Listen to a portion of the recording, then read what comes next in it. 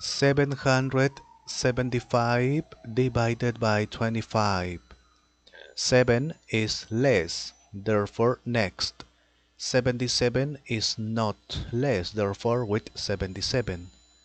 25 multiplied by which number is nearest to 77 but not greater 25 multiplied by 4 100 is greater multiplied by 3 75 is not greater. Okay.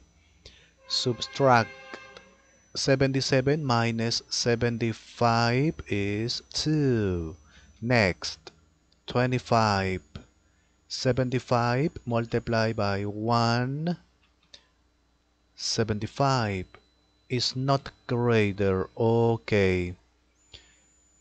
Subtract 75 minus 75 0 next. That is not number therefore finish it.